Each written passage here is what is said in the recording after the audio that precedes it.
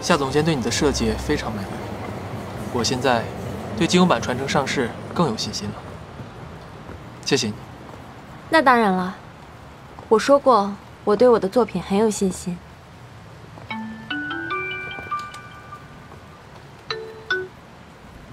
喂。哦，他在。等一下，找你的。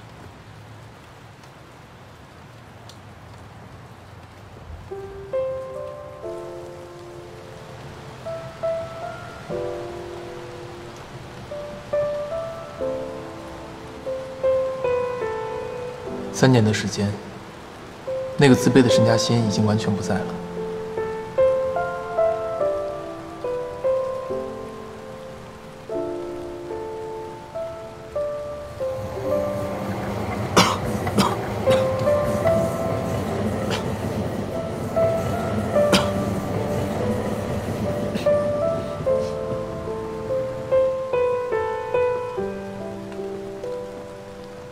怎么了？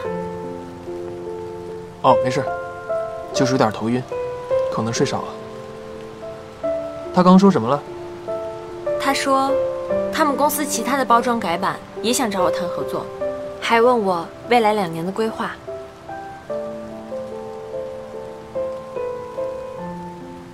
陈嘉欣，你真的不是我认识的那个陈嘉欣了。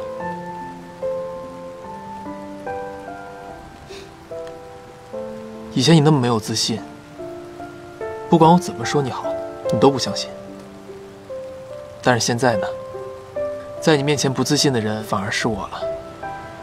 你？你怎么会不自信呢？曾经一个很需要我的人，现在他不需要我了，而且在他的地盘上，他有可能随时把我给卖了。多少会有些不自信吧。我是长大了，又不是学坏了，好吗？你也累了，赶快回去休息吧。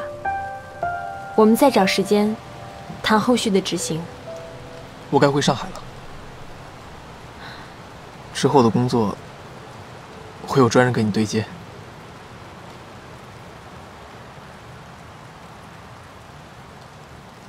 哦。也好，反正我们两个人在一起总是不和，这样换一个人来谈后续的执行也好，那也省得我们吵架。是啊，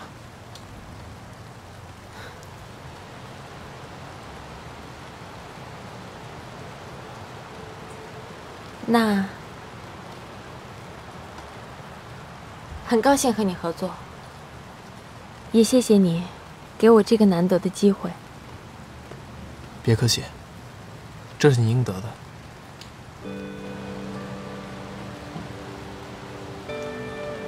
那再见。再见。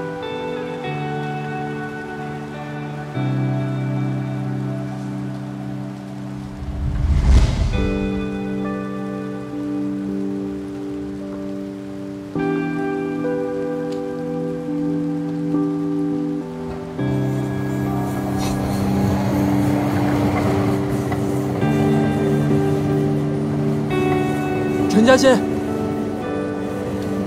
对不起，三年前我不应该。王希，